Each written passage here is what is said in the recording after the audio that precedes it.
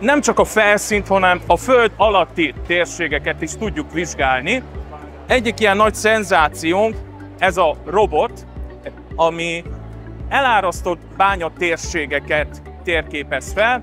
Ennek egyre nagyobb jelentősége van. Magyarország területén több mélyművelésű bánya van, ezek nagy részét már elárasztották, ugye gazdasági szempontból annó nem érte meg az ásványkincsnek a kitermelése, azonban ugye vannak olyan ásványkincsek, amiknek a piaci ára egyre inkább nő, úgyhogy ezeknek a térségeknek a feltérképezése, az ö, ásványkincseknek a becslése, az egyre inkább ö, fokozódik Magyarország, illetve Európa esetében is.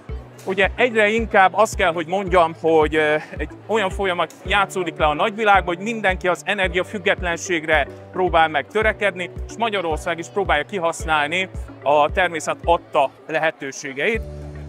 És az egyik ilyen, hogy a hajdani bányatérségeket feltérképezzük és irányt adunk.